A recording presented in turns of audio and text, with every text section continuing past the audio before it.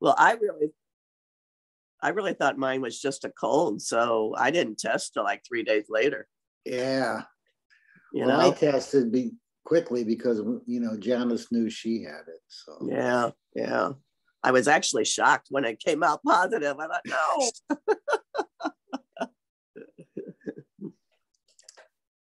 and I, Well, I don't know where I got it.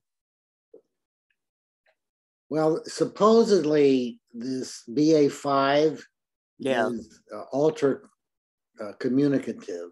right. So even if you're if you're outside and not in real close to people, if there's a couple people, hi.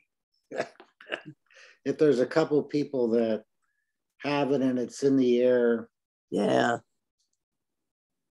so Do they say like how quickly you get it then? Like once you've been exposed? it's a it's a yeah. I mean, it comes quick. It's a few a few days. It's not like Okay. it's, it's not like seven days or anything like that. Right, right. Yeah. Yeah.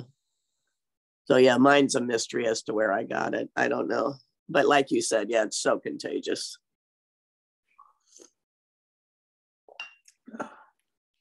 So how are you two doing? We're doing okay. Yeah. Mhm.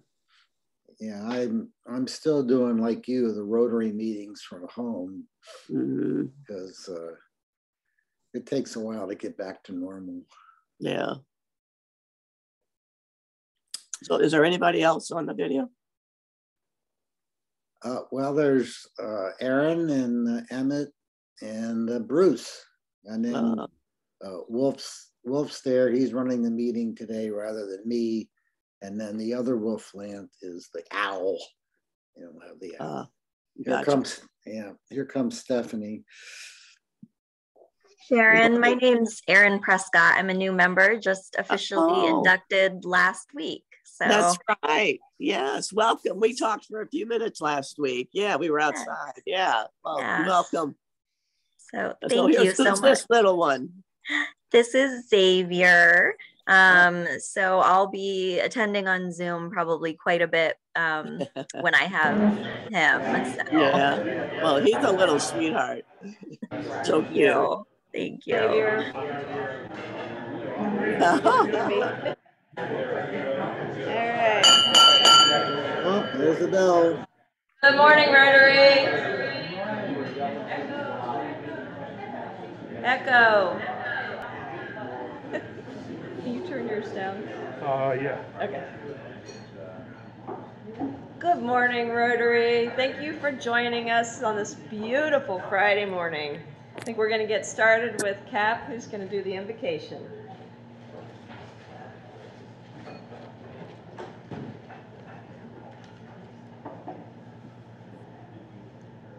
Father, thank you for the respite time of summer. Time to be with friends, time to be with family, time to relax. Help us to remember that while our part of the world is calm, that other parts need our help with peace, food, water, and medicine. Thank you for the people in this room and in this club that help with doing all that and supplying the world with healing. Amen. I pledge allegiance to the flag of the United States of America and to the republic for which it stands, one nation, under God, indivisible, with liberty and justice for all. Thank you, Cap, for uh, taking on the invocation and the pledge. We appreciate that.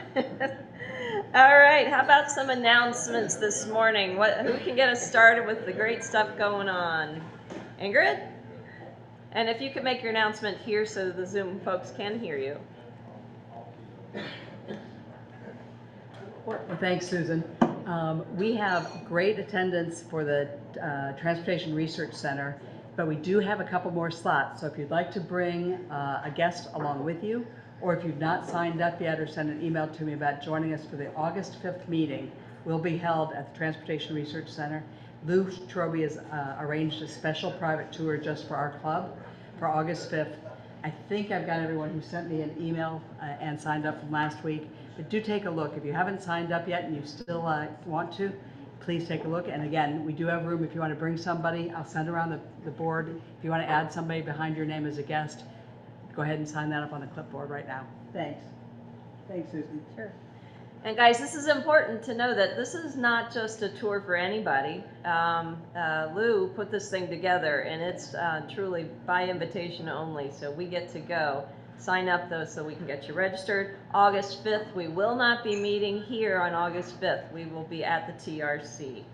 Okay, any other announcements? Claudia? Um, we have finalized, um, the plans for our peace pole installation. It's being installed at Coffman Park near the pavilion. Um, it is a eight, nine foot peace pole that is going up, it's not up yet.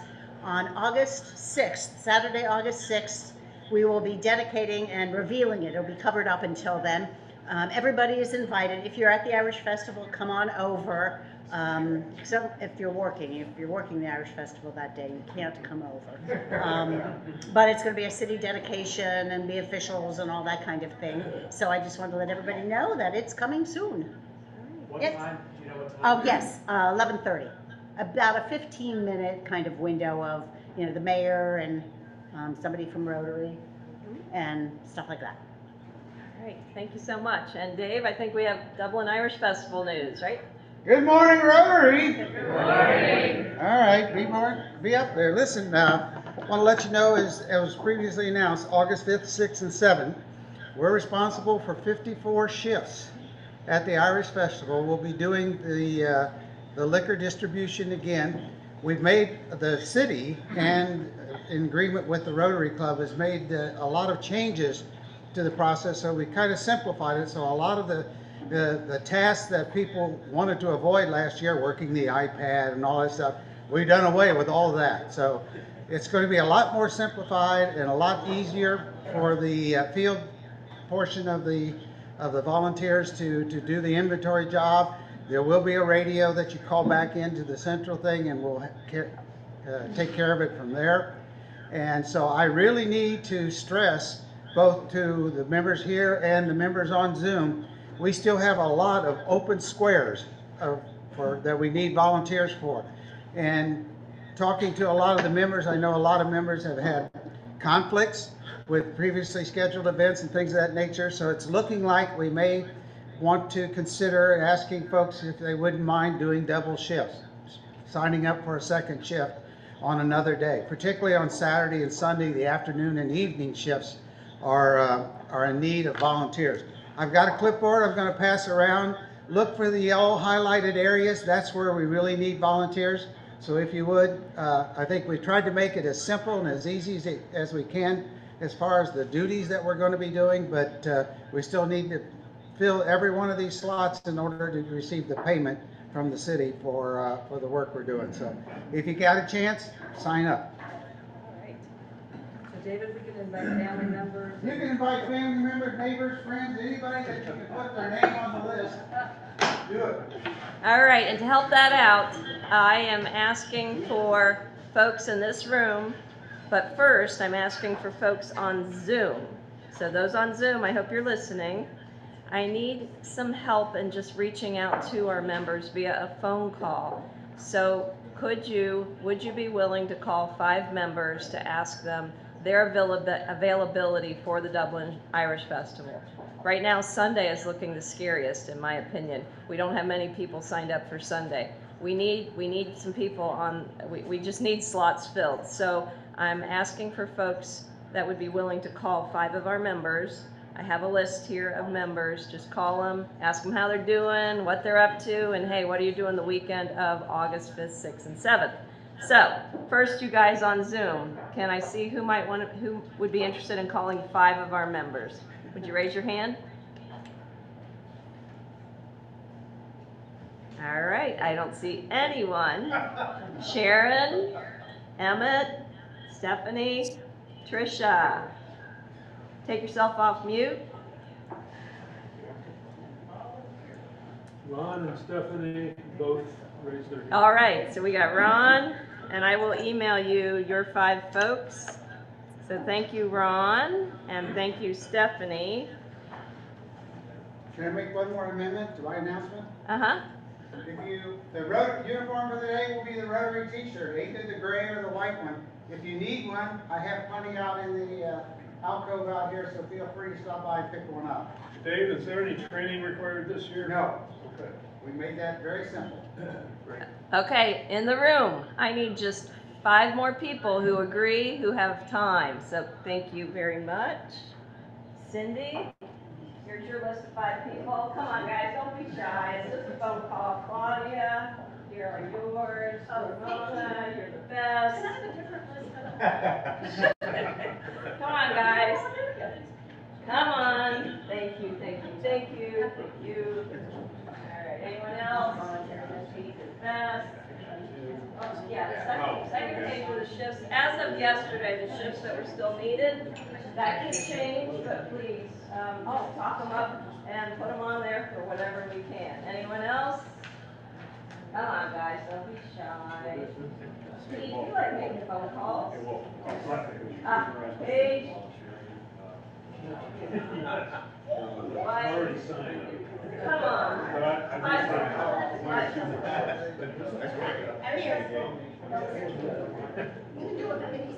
Thank you, thank you, thank you. I can't believe you all are so shy. Come on now.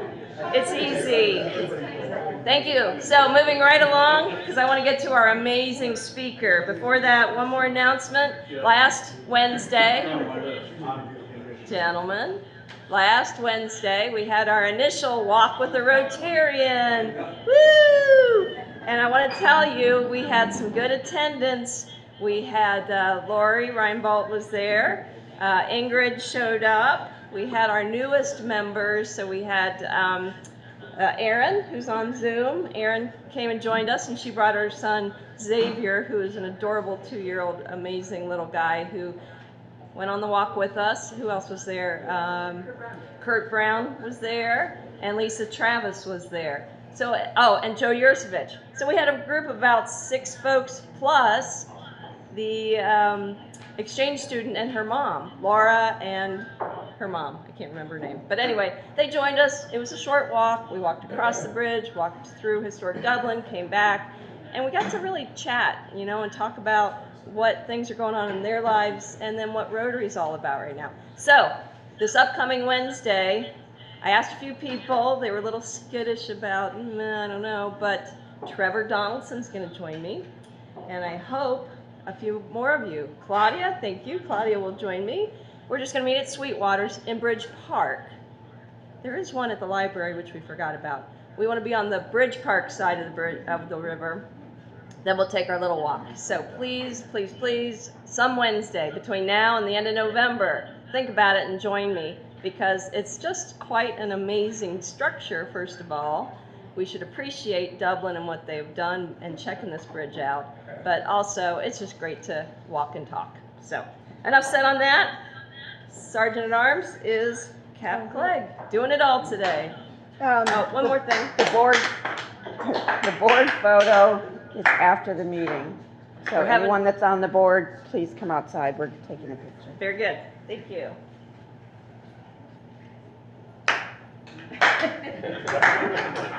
Somebody left this here. It's got to be a past president. The Rotary Book of Readings. Did we ever get this as past presidents? Mine. Go. You would actually get this? I found it online. Okay, that's two dollars. Uh, If we we don't do Rotary stuff, no, this is like district stuff. We don't keep track of this. All right, um, Claudia, we need two dollars from our president. And speaking of presidents, we have a past president. You got to learn how to sit, where to sit. If you look behind you, right behind you, Mike, you're the past president. This is where past presidents sit. There's one right there. There's one right there. Once you're, you just work your way back. So you, there's two dollars not learning where to sit as a past president. Wow. I mean, you've been up here for three years. We're tired of seeing you. You just got to move to the back. All right. So if you have not signed up for a Dublin Irish Festival volunteer, that's a dollar. So put your dollars on the table. So, and then who of you have already been on a summer vacation? Summer vacation. Okay, and you've got money left. The people that haven't been on a vacation yet, put a dollar out because you don't, you still got money. The rest of us that went on vacation and paid for gas and boat money and greens fees do not have money left. So. Look, look at all this stuff. Wow, the presidency has changed. You got all this stuff up here. Ron, I'm gonna put your ticket on the bottom, so I'm gonna have to.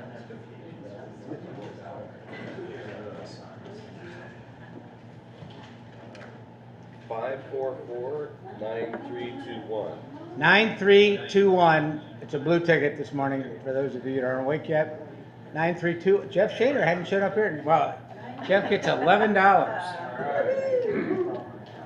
What do we have, uh, going on for a nice charity you can give that to? Your pick, your pick.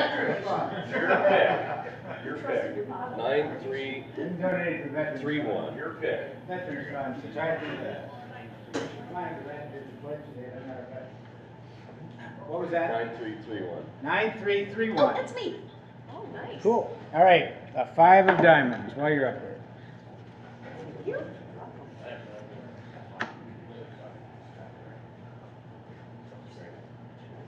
two cards. I didn't win either time. One and four is five. Boy, he's a good one. I'll take that one out. Put this one, okay, that one out. Whatever. Here, here, Bookmark for her. All right, we're done. All right, very good. Thank you. Okay, before we get to our speaker, do we have any happy bucks? There's been a lot of good stuff going on out there. Any happy bucks? Oh, man. Okay, your assignment. Oh, Ingrid. Yeah, my son graduated from his MBA school. He's off to join the venture capital world and choosing which city to go live in, a new style. Right, these young people, they, they decided they'd interview five different cities now, and they're trying to pick, and I keep on trying to get back to the Irish festival, get them to stay in Dublin, but I can't happen. But anyhow, he's Yay. he's off, he's done MBA. So Ingrid has a happy buck for her son finishing MBA, trying to get him, lure him back to Dublin. Anyone on Zoom got a happy buck? Okay, next week, guys, come on. Something happy's going on in your world. Lou? I have a happy buck. Oh. I did not win these, but the trophies came in for the car show. You have thirty, uh, top picks and best in show. All right. All right, they look good, look good. Okay, and with that, Wolf, I believe you are introducing our speaker.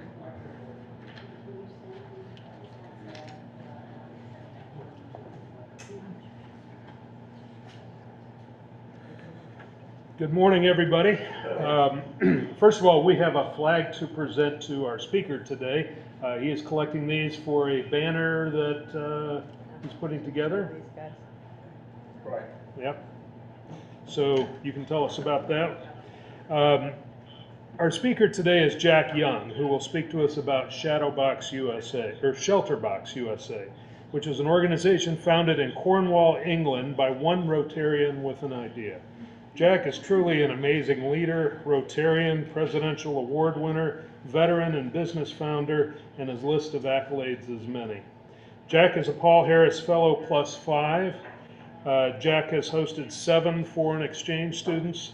Jack was past president of the Rotary Club of Conneaut and past district governor in 2005 and 6 for the Northeast Ohio District 6630. Jack's a past board member of the Shelterbox USA for seven years and Shelterbox Hall of Fame inductee. He won the Rotary Ambassador of the Year for the Shelter Box in 2015. Um, past president of the Ohio Mental Health Association, a 32 degree Master Mason, past chair for the International Fellowship of Scouting Rotarians for South America, Central America, North America, and the winner of the Silver Wheel Award. He won the Rotary International Past President Cliff Dochterman Award in 2014. He contributed over $1.4 million worth of goods to the children of Nicaragua. He's taken 11 mission trips. He is the founder of Villas Nursing Home and board leader in Conneaut, Ohio. recipient of six Presidential Volunteer Service Awards from Presidents Bush, Obama, and Trump. Jack is originally from Marietta and served in the U.S. Air Force and is a Vietnam era veteran. Please help me welcome a great Rotarian, District Governor Jack Young. Can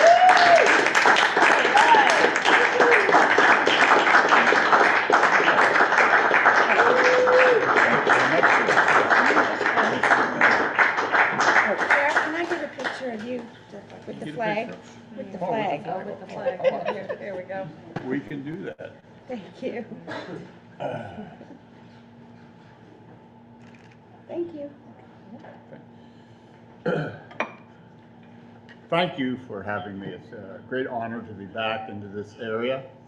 Uh, I used to work at Scotts up in Marysville, Ohio for about four years and took a side trip around, around the state. And it's, it's always great to be a part of a Rotarian family. And it is, it's been part of my life uh, since uh, 1995. And I look at Rotary as one that we do so much for other people.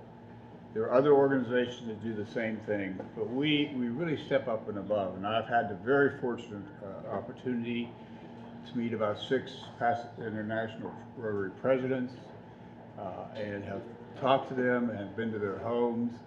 Our, our current uh, president, Jennifer Jones, I've known her for about 15 years, her and Nick, her husband. And I'm going to tell you, you are part of one of the greatest organizations in the world. And I thank you for what you do at the community level. And I, I really am impressed with everything that I've seen with you. And I've been at the Ohio Pets a number of times. So it's been great. So I just want to let you know that because it, it's very special to me and uh, with all the uh, organizations you belong to and, and what you've done. Briefly about Shelter Box. A lot of people don't know this, but it was founded by a Rotarian in Cornwall, England. He was a Navy SEAL, and what he saw in the world is when there's a disaster, back in, the, in around 2000, there wasn't very many organizations that really could step up and help people. And Tom Henderson, who is the founder of the Shelter Box program, decided he wanted to do- do something to help, not to gain fame, not to be recognized by anybody, but other just helping people. And uh, when I joined the board of directors, uh, I'm going to share something. Be careful what you say when you say you'll do something. Because when I was at a, a, conference over in Indiana back in around 2000, 2001, I, I saw Shelter Box and I just went over to see it at a booth. And I said, oh yeah, I might have an interest in that. So I gave my card. A year later, I got a call and they wanted me to come down to Florida where the offices were and said, okay, we want you, want you to be on the board. So be careful what you say to people that you're going to volunteer because you will be one of those people. And I think you probably already know that. But Tom is a, was a, a great person, and his wife Jane. She's deceased now. But, but when you look at what he did by being uh, a, a military person and starting to help people that were in natural disasters, uh, especially natural, natural disasters. Some people, uh, of course, conflict may, may not be natural, but it's out there. We've got to deal with it day in and day out all over the world. And he did so much. And I was so honored back in about 2006 to be invited over to Cornwall, England, to the warehouse of where the tents are put together. And you got you got brochures out there so you can see what I'm talking about. But he is a group of volunteers in Cornwall, and he wanted me to come over from the United States representing the board of directors to help educate Rotarians throughout the world that we're there to help when there's a disaster anywhere in the world. And I'm really proud to say that uh, Tom had a heart as big as you ever wanted because he was there to help people. He didn't care where he had to go. He was very fortunate enough that he could do a lot of traveling, and so therefore it was a great honor to meet him. To be spending, I spent over a week and a half there at the uh, Cornwall, England, in their warehouse. And it's not a fancy warehouse. We don't, we don't build things to shelter box because they look nice. We build it just because we want them to be workable, to be able to send boxes all over the world. Right now, we have about nine locations in the world where we have some shelter boxes in inventory, not a lot, because every time we try to build an inventory, we have to use them. And so, uh, someone says, well, how do you deal with the politics? And we're not into politics, ladies and gentlemen. We're here to help people regardless of whatever politics, whatever religion, background, whatever. We're just here to help people. We've housed over 1.4 million people in, in the 20 years I've been involved. And it's just something that's just, it touches my heart because I've seen some of these areas. I've not been on a, one of the uh, training sessions uh, because we do use, uh, I hate to use this word jungle people, but uh, when you put up a tent, if you, uh, and I'll bring a tent over to maybe someday and let you put it up. It- they're not, it's not easy, but if you're a scout, how many have a scouting back, background? It's what you put, so you can do it. However, uh, it's, it's, so it's, it's really not hard, but it's not easy either. So again, uh, we, we look for people all over the world. We have school teachers, young people. We use the scouts throughout the world to help us do what they do. They, kn- they know how to do it very quickly. So again, it's just something that just touches your heart when you see some of these uh, people and how they're living and how they're getting along. We've had uh, an opportunity uh, to meet before the uh, Ukraine government, not myself personally, uh, but our CEO, uh, she's met before the Ukraine government trying to help them have a place to temporarily live until they can rebuild because there's a lot of destruction going on, as you all know, over in the Ukraine area. But we don't want to get into the politics. We're there to help people. That's the key thing that, that uh, they want us to do, what we, what we do all these years. The disaster relief itself can take days, weeks, or months to be able to help, uh, help these folks. Now, I usually get the question, well, what do we do in the United States? Well, we have responded to disasters in the United States, but because of our system, disaster relief systems such as the Salvation Army, etc., we don't need it as much, I hate to say this, but as much as they do in some of these countries. These countries don't have anything. Where we got the Salvation Army, we got FEMA, and we got all those kind of things to help our own people. Even though we have responded, don't get me wrong, we have responded, but it's nothing like they would be overseas. They don't have the systems that we have in place. So we've been very fortunate here that we haven't had that much to, to deal with. It's really been overseas uh, uh, in a lot of these areas. I had the opportunity at, at the All Ohio Pets. How many worked at All Ohio Pets? Okay, you know. Uh, I don't know if you, you remember Jennifer Jones. She's been over, she supports us at the tent. I had a picture with her with one of the white tents over there. And these tents are, you say, well, it's really not so- sophisticated, but the point is, they can house up to 20 people. They got sleeping bags, they got stove, they got the little games for the kids, uh, all those things, just the basic items to survive. And uh, Jennifer has been very gracious uh, in supporting Shelter Box and helping us, along with our CEO of Shelter Box, to, to have them available throughout the world. So again, uh, we're very blessed to have leaders in our organization that are willing to support. Now, I got to take a side note here. We had, uh, you know what Shark Tank is? We had uh, two ladies that uh, actually founded a uh, illuminating light where it would be charged by the sun. It was in a pillow, so kids could have a pillow to sleep on. But if they have to go up and, uh, at night and go to the, the uh, restrooms or whatever, there was a there's a light in there, and they could see to get to where they had to go. They were on Shark Tank. Within about, I was told about 30 minutes later, we had contacted those ladies and said, we want that to be a part of our shelter box. So they can have natural lighting, some, wherever it may be in Africa, wherever, India, et cetera.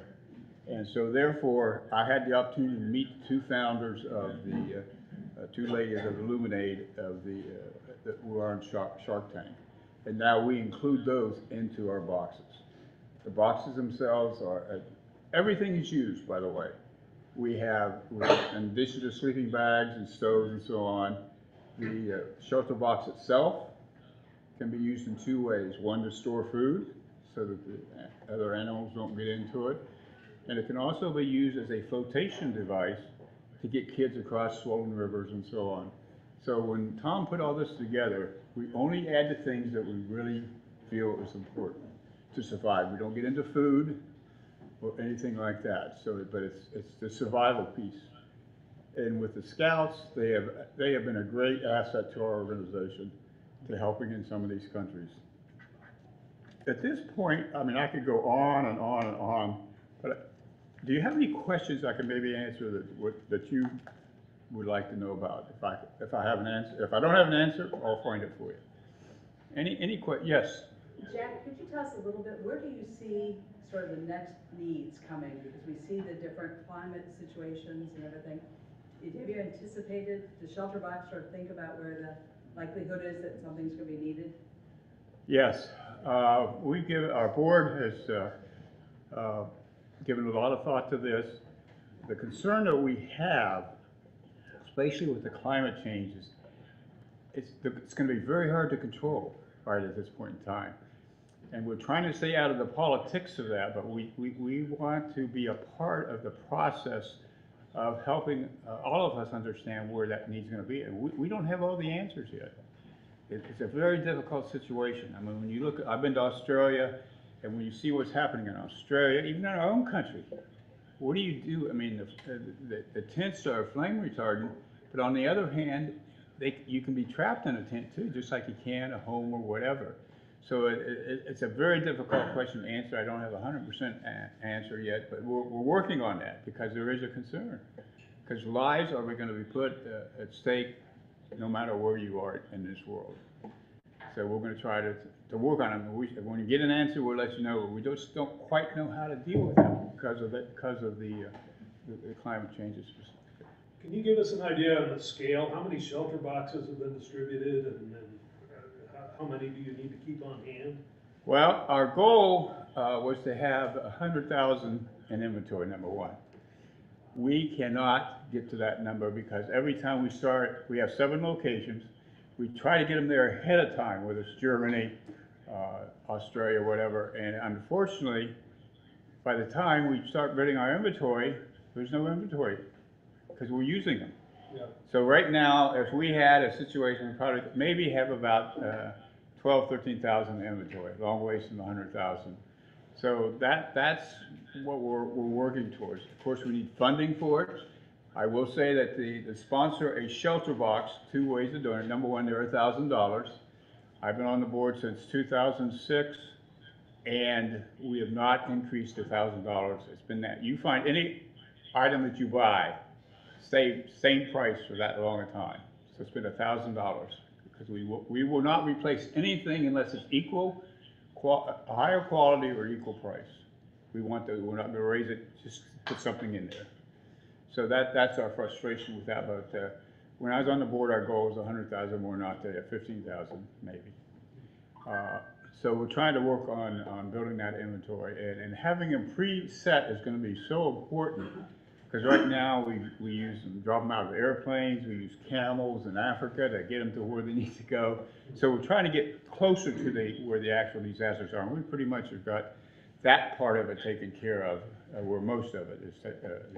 Any idea how many you've deployed so Yeah, far? the last figure I received was probably about one point one million, uh, tents. So, may not be a lot to some people, but that's a lot, a lot of tents. And, uh, again, we, we get the boxes out of Germany, uh, where they're uh, made the boxes and we fill them in England. Yes? What size are these boxes? Um, you consider it about a time and a half, time and a half size, length of here. Can you see this here? This table? And it's about halfway up. They weigh hundred and ten pounds when completely full of what we put in them. And that's been pretty much the same all this time. We have uh, had people, I had, we had a seventy-six-year-old gentleman in Africa. They weigh about hundred and ten pounds, by the way. He picked it up, put it on his head, and walked away. I couldn't do that, I can tell you that. But that's about the size they are. I wish, uh, uh, s- I do have one, I, I, I couldn't get down here today, but it, but it's, it's, it's about that size, this table here. So, and it's got the tent, and it's got the tent again, the house twenty, it's got shovel, it's got a, an axe, it's got the things, the basic survival needs of, of the scouts is what I refer to. It's what you need, just basic survival. And that's why the scouts have been so important to Shelter Box and helping us deploy them throughout the world. And we are always looking for volunteers. If you want something to do during the summer months, we'd love to have you uh, consider and contact me. We have a training facility down in Texas, uh, outside of Houston, to where we actually spend, they spend a week out there. And you get to really get a feel for what it's like getting these distributed. Because the key thing, you don't have to be strong, but you have to have a personality that's going to deal with all kind of cultures. And that's what we look for, that you're not going to get someone upset just because what you may say. So you have to respect that culture. But we spend, we send you out there for a week and uh, on a farm of a, rot- of a Rotarian down there. Yes? We have a question online. Uh, the question is, do you have strategic partnerships with other organizations to help with food and water? We do have relationships, but we only are there as an advisor, uh, whether it be the uh, uh, World Food Bank, the Salvation Armies, uh, those kind of organizations, and each country has their own as well. So we do have that relationship, but we are only there just if, if we, we can advise them or give them our, our opinion, because we don't want them to think that we're trying to control everything, because our focus is on sh- basic shelter. But we do have relationships and we- we do meet throughout the year uh, with the leadership of the various organizations. And each country's got different, different organizations as well. So we try not to tell them what to do, we just give them our advice and what we see. And we want them to give us their advice too. So. Anything else you want to add? Are companies willing to discount their prices? to the- I'm sorry?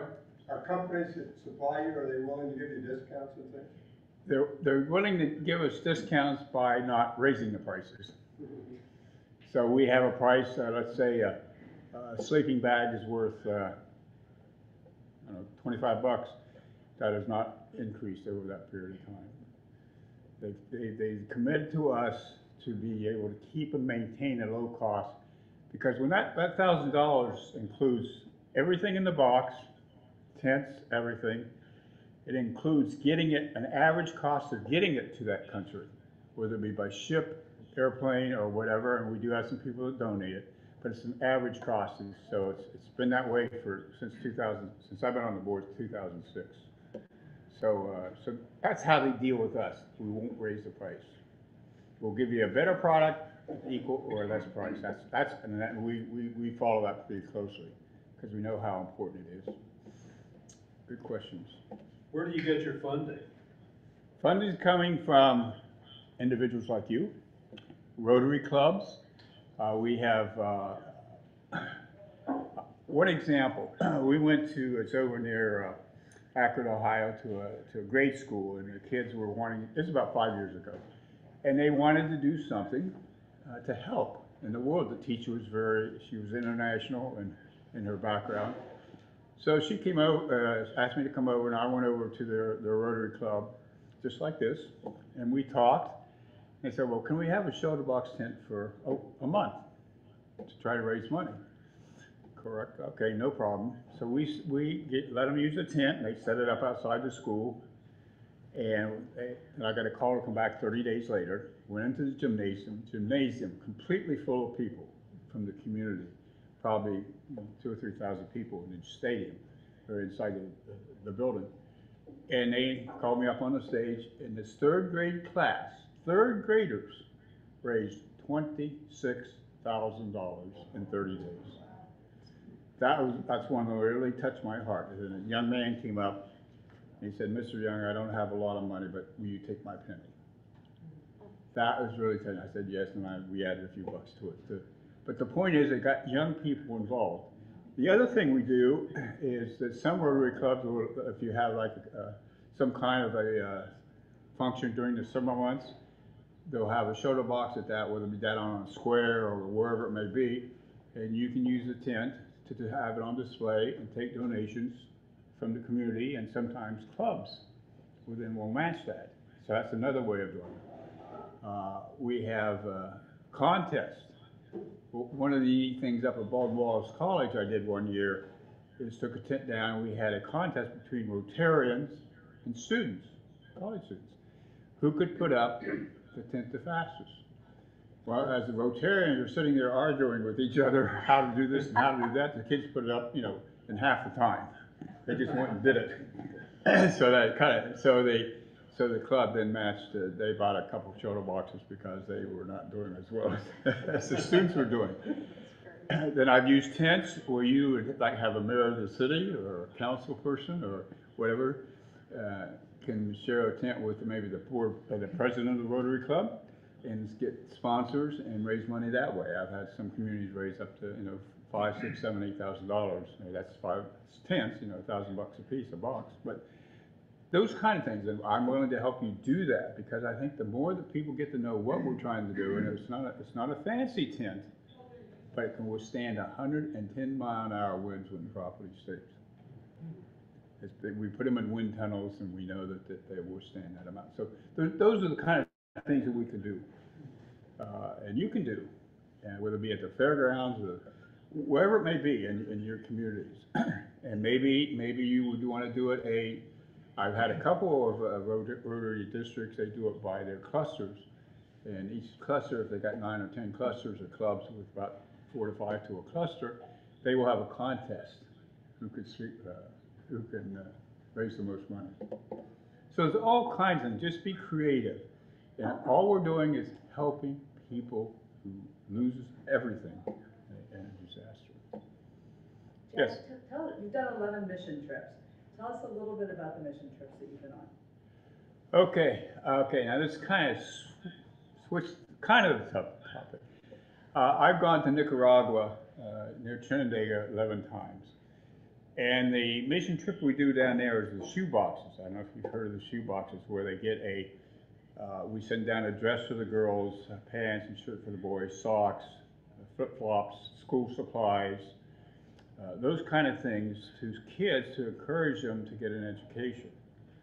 And uh, we have been able to uh, help these people to learn, uh, young people to learn a trade. Because down in these countries, I'm going to tell you, when I first went down there, I, I was only going down once, and I've been now, now 11 times. They have nothing. They're sleeping uh, and eating. I'm talking about eating out of an 80 acre garbage dump down in Chinandega. That's the only food these kids have. They search for food that you and I throw away. And we, we waste a lot of food here in this country, I'm sorry to say. But uh, so it's, it's very desolate. They, they eat and sleep around this 80 acre garbage dump. And we try to, what we try to do with these shoe boxes is to actually encourage them to get an education. They will not get a shoebox unless they have the following good grades, good attendance, and are recommended by the teacher. Very basic, but those rules were set up by the teachers, not us. So if a student meets those three criteria, then they will get a Christmas shoebox. It's the only Christmas shoebox, only Christmas gift they get that year. But we do that. Uh, usually, uh, we in our district, we send down uh, in area of 500 to 1,000 shoe boxes. But we combine with six other Rotary districts in Iowa, Texas, uh, Michigan to supply those to the kids down there to get an education, a basic education. In addition to that, we have sent down sewing machines. The old, you probably remember the old sewing machines. We sent those down so they can learn a trade. Welding, uh, we send welding supplies down. I've sent a fire truck down. I've sent four ambulances down. Two years ago, I started sending pacemakers. I don't know if you know this or not, but when someone passes away and you have a pacemaker, if you're cremated, you have to take it out because it'll explode. I didn't know that. And they, they scrap out about 500 bucks a piece. So about two years ago, I sent down 60 pacemakers and we've extended the lives of about seven people so far. So it's those kind of things. Anything else? I'll, I'll be here for a few uh, minutes if you want to ask any other questions. But thank you very much for the opportunity to be a part of your club, and I hope I can come back. Maybe get me on your list, and I'll get someone to bring me back down. So All right, Okay? thank you.